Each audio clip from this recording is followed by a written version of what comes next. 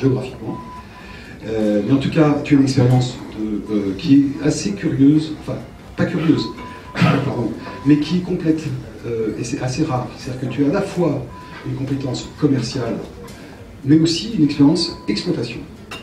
Et pour nous, ici, et peut-être que je me fais l'interprète de beaucoup d'entre vous, avoir une compétence exploitation, c'est très important. Je ne dis pas que Claude a des vérités de ce point de vue-là, vous n'avez pas imaginé ça à un instant, mais l'accent devra être donné, particulièrement au départ de Tunis, parce que vous l'avez remarqué, on a des infrastructures qui ne sont pas forcément à la hauteur de, notre ambition. Ça veut dire qu'il faut compenser. Et compenser, ça veut dire qu'il faut donner le meilleur de soi-même. Et euh, Jean-Marc, je compte sur toi, non seulement pour euh, donner ton talent euh, commercial, mais également aider l'équipe de Mahmoud Pachlev, que je salue, hein, qui est partie de notre auditoire ce soir, pour que véritablement vous souligniez ce point-là, de façon à ce que le client soit le mieux traité possible à l'aéroport de Tunis-Carthage.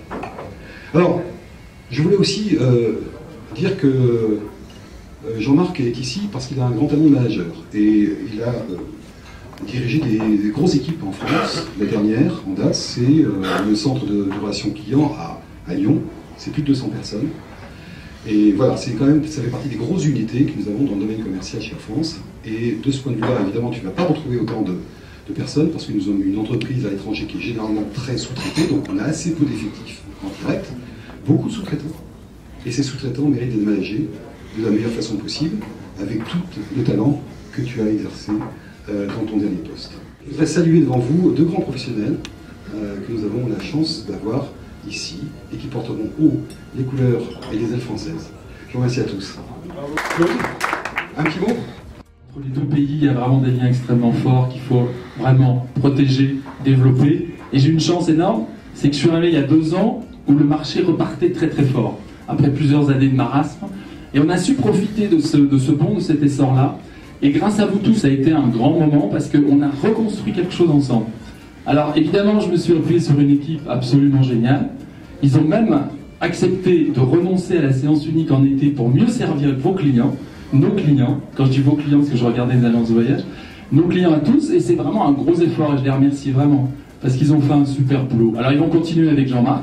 Et puis euh, j'ai aucun souci là-dessus parce que moi, maintenant c'est cool, je vais pouvoir revenir en vacances.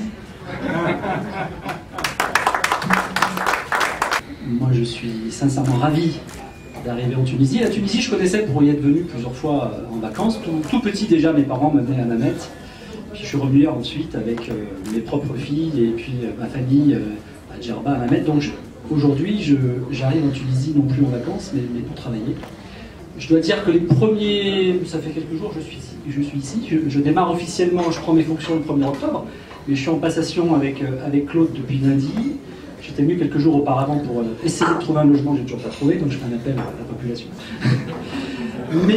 mais, je dois dire que mes, premières impressions, mon premier feeling avec la Tunisie, avec les, gens euh, présents que j'ai pu rencontrer euh, sont extrêmement positifs. J'ai entendu aussi tout à l'heure que Claude avait la particularité de ne s'être jamais engueulé avec personne, donc j'espère que ça va continuer. Le but du jeu, c'est de s'engueuler avec personne plus, donc écoutez, on va faire en sorte que, de poursuivre dans cette voie-là. Euh, voilà, donc euh, merci d'être venus aussi nombreux.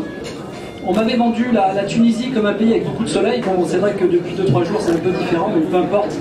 Merci pour. Il y a- des gens qui sont venus de très loin, je crois, euh, en voiture, qui ont fait plus de 200 km pour venir. Donc merci encore.